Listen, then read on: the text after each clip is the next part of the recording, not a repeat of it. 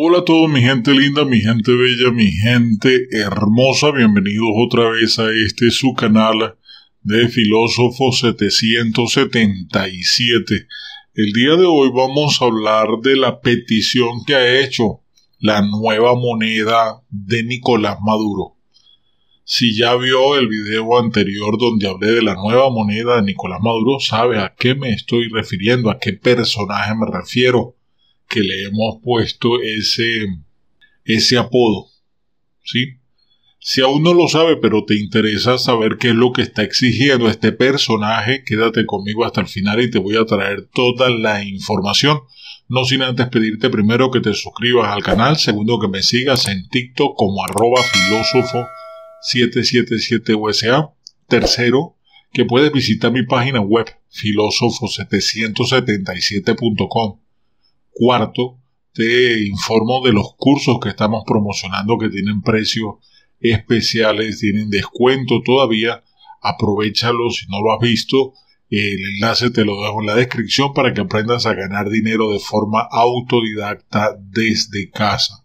Hay varios cursos que te pueden dar un arte, enseñar un arte 100% online que lo puedes usar tú, lo puedes usar tus familiares, lo puede usar un primo, tío, el mismo curso, obviamente se da un solo certificado, pero pueden sacarle provecho todo y la entrada es de por vida si adquiere ese curso en este eh, momento que se está promocionando. Bueno, te dejo el enlace en la descripción. Si estás en, en Venezuela, Cuba o Nicaragua tendrás que descargar un VPN y ahí te dejo un video cómo hacerlo. Si estás fuera, simplemente accede al curso que te interesa y listo.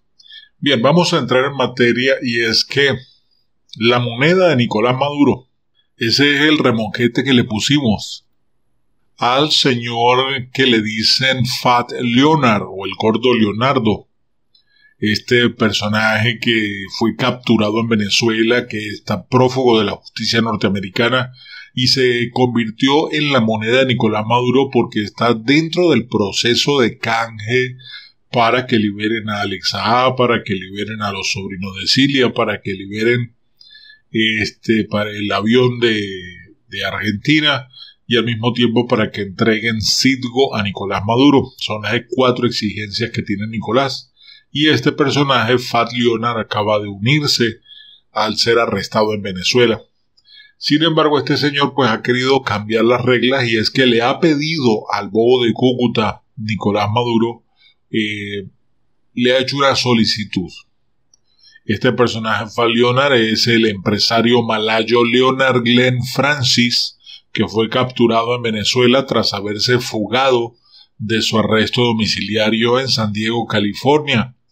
Dijo que quiere quedarse en el país caribeño a través de un asilo político. Y eso es lo que le ha pedido a Nicolás Maduro que no lo trate como un preso, sino que por favor le dé asilo político. Francis está procesado por haber sobornado a altos mandos de la Marina estadounidense a cambio de contratos para su empresa naviera Glen Defense Marine, después de su captura en Venezuela mientras intentaba salir del país con destino primero a Brasil y luego a Moscú fue presentado ante el tribunal de Caracas. En la audiencia, Fat Leonard dijo que deseaba quedarse en Venezuela. Le informó al tribunal que él desea quedarse en nuestro país y quiere reencontrarse en Venezuela con su esposa y con familiares debido a que él sufre de un carcinoma renal con metástasis fase 4. Por esta razón dijo que solicitará asilo político en Venezuela. La decisión de Francis podría opacar más a un próximo proceso de extradición que solicite Estados Unidos, al ser uno de los responsables del escándalo de corrupción más grande de la historia de la Marina de ese país. Según las fuentes, han informado la semana pasada que The Associated Press, el contratista podría convertirse en la última moneda de canje, de cambio, en los esfuerzos del régimen venezolano de Nicolás Maduro por obtener el reconocimiento oficial de la administración de Biden según los expertos. Y no solo esto, sino también planea pedir a cambio de este personaje la liberación de Alex la liberación de los sobrinos de Cilia, la liberación del avión detenido en Argentina y por último pedir la devolución de Citgo. Dijeron lo siguiente, no tengo ninguna duda de que los venezolanos sacarán provecho de la detención de Francis, especialmente porque han sentido los efectos del largo brazo de la justicia estadounidense. Así lo dijo David Smile, un viejo experto en Venezuela que enseña en la Universidad de Tulane. Bien, esa es la, la moneda, la famosa moneda que le ha pedido a Nicolás Maduro que por favor no lo entregue a los Estados Unidos. Al contrario, quiere quedarse. Aunque en un principio se hicieron conjeturas de que Fad Leonard podría tener información que le interesara a Nicolás Maduro para hacer un canje, hasta el momento él no ha hecho ningún tipo de declaración sobre esto. Algunos creen que tiene información de cuáles fueron los oficiales de la Marina, que se involucraron, cómo se involucraron en este proceso eh, corrupto y podría darle toda esta información a Nicolás Maduro. Pero, vuelvo repito, no se habló de eso, simplemente se habló de que este señor está apelando a la humanidad del régimen porque tiene cáncer y porque su cáncer pues ya ha hecho metástasis. Vamos a ver qué decisiones toman eh, el juez qué decisiones toma el mismo Nicolás Maduro. Pero esperemos a ver qué pasa en los próximos días. Yo estaré pendiente de toda la información y se la voy a ir trayendo a medida que vayan ocurriendo. Me voy a despedir con la frase del día y la frase del día dice lo siguiente. La gente no olvida, aprende a vivir sin ellos. Repito, la gente no olvida, aprende a vivir sin ellos. Cuando nosotros cometemos errores por naturaleza, a la gente le es muy fácil recordar y restregarnos eso en la cara.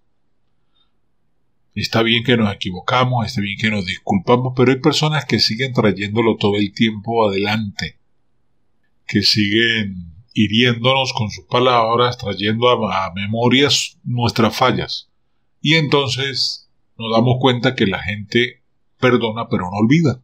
O dice perdonar pero no olvidar. Pero esa frase, que está muy mal dicha, por cierto, porque si no hay olvido no existe perdón, perdón genuino. Entonces cuando nosotros tenemos un tipo de relación así es mejor alejarnos de ese tipo de personas. ¿Por qué? Porque no vamos a poder avanzar a la siguiente etapa si no existe algo que se llama confianza. Y cuando todo el tiempo te saquen, eso te va a doler. Y eso va a erosionar más la relación, la amistad.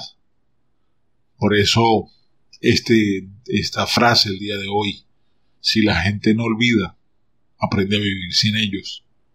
Es el consejo que te da tu hermano y amigo filósofo 777. Si aún no te has suscrito al canal, suscríbete, no olvides regalarme un dedito arriba y si te interesan los cursos, el enlace en la descripción. No olvides visitar nuestra página web filósofo777.com. Bendiciones para todas y todos.